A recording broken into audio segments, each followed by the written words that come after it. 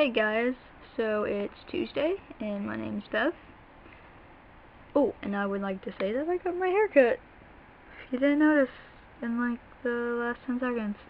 Anyway, cut most of the black out, so my brown hair is showing, which is good. I'm trying to get that to show. Um, if you've been watching, last week we didn't upload because, well, because we had Thanksgiving that's not really the main reason why though. Um, Monday, Lily couldn't upload because her cat ate her webcam. apparently cats eat webcams now. I, I really don't know. And Tuesday, I was stuck in traffic for about an hour. Like, and that was just a couple miles from my house. So it was pretty pathetic and I was so stressed out and I couldn't deal with it at all. So, yeah. And now this week, we're obviously uploading because I have a video right now and you're watching it. Yeah. So our topic for this week is depression and like the other weeks we really don't have anything to talk about, like any certain things to talk about. It's basically just your opinion and experience, explanation, all that stuff. So, I guess I'll start with my experiences. When I was a little girl, I used to cry myself to sleep almost every night because I grew up without a mom. I met her a couple years ago, so that's that's already taken care of, but I grew up without a mother and I didn't have a woman figure in my life, so it was kind of really tough and then when I got to elementary school, I got bullied because I was a tomboy, except I was raised like that, so I don't know, I think everyone should have a mother figure growing up, even if you're a guy, like, you really need a mother figure. You need a father figure too, but you do need a mother one. Anyways, and then after middle school, that goes into middle elementary school. Elementary school goes into middle school. So then middle school, well, if you watch the eating disorders video, then you would understand that middle school was extremely rough for me. I was going through so many things, and so many people were dying around me, and oh my gosh, like that was that was terrible. But I don't know. It was really hard. Like, I just came out as being gay, and everyone was just. Sorry, my video just. Okay. Everyone was being all to me, and man, I lost so many friends. But that was like true depression there. I had a psychiatrist, I had medication, I had all that shit. Sorry I say that word a lot. Anyways.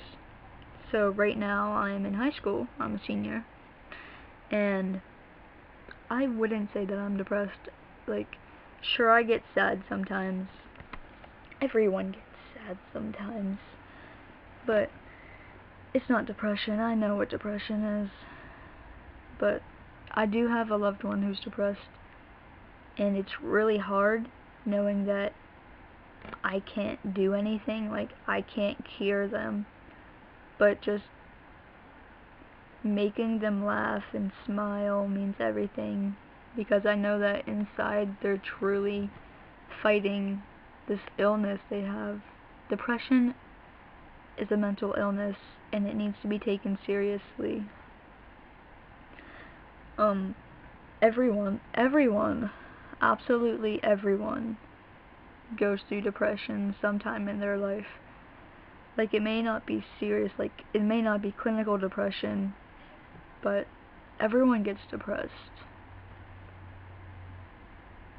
I don't know what else to say about that. I mean, yeah, I know that 17.5 Americans, though, are suffering with it, and two-thirds of them don't seek the help that they need. I mean, they're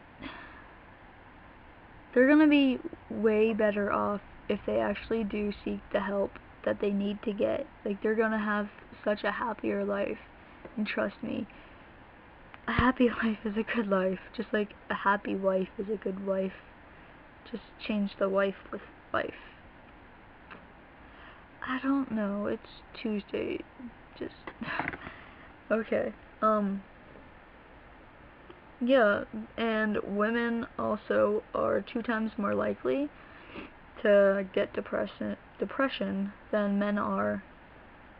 I mean, I'm not really sure why that is. It might just be the hormones and the fact that women are far more emotional and sensitive than guys. Well, most most guys. Yeah. Um I don't know. If you have depression or if you know anyone who has the signs of depression, you should definitely seek help because life will get better if you allow it to get better, if you seek help, if you find and surround yourself with all the happiness that you can get, then your life will definitely be way better. I mean, you don't. Okay. Depression usually leads to suicide, and in 1996, it was the ninth most death rate thing in America. And that's just 1996. It's 2013 now. Like, that's probably ranked higher now. Because, I mean, we have the repression and all this dark shit, and people get depressed about that. But, I don't know. Depression is extremely serious, and everyone should take it serious. Sure, it's not a broken leg, and, I mean, society accepts you having a broken leg way more than it does you having a mental illness, which is pretty pathetic. Like, it's, it's really stupid, because they're both illnesses, you're just judging one way differently than the other, and you shouldn't you shouldn't really do that. Society should not do that. Society is society is messed up. I'm just gonna say that before I go on a rant. Society's extremely messed up.